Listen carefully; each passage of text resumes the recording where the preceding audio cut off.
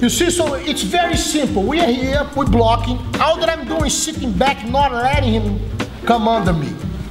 Then I go this way, look. Remember, I always grab shallow, just on the seam, just the tip of your four fingers, and every time when you're finishing this, your palm has to go out like a cat. Because any other way you grab is gonna break your grip. If the guy resists, it breaks your grip. But like this, you can hang on the bar there, you won't be able to, to break it. You see? So I'm here. He's trying to come closer, he's coming, I, I, it's like I'm holding. When I touch here, I pull and I, I call it the plastic bag. I put the plastic bag on his head, look, boom, and I lock by putting my elbow down, look. His head cannot come out now. Now my hand sneaks in as I'm turning, and every time to finish, I move my ear towards his belt, like I want to touch my ear on his belt. It's like because I want to end up like I'm holding a baseball bat. See this way.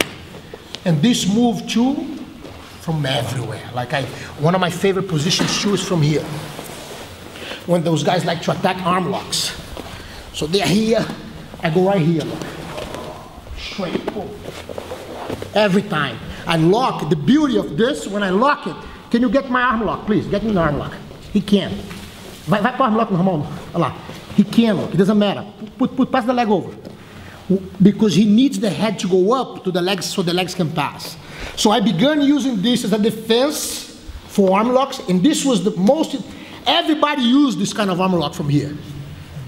I lock the head, I hold it here, and then the hand sneaks in. So it's the same thing from everywhere.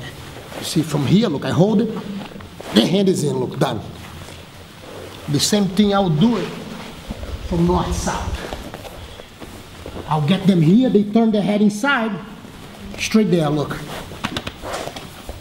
So everywhere I had a chance to hug his head, boom, would be on, you know? And this was the inverted one. What I call the plastic bag, yeah. You're here, you're holding, you always pull him closer to you. So he, he's even more confident because that's what he's fighting. Before you're fighting to keep him away, suddenly he comes, elbow down, hand sticks in. The more relaxed you are, quicker you can do it. Look, boom. See, in, elbow down like when you scratch your ear, hand sneaks in.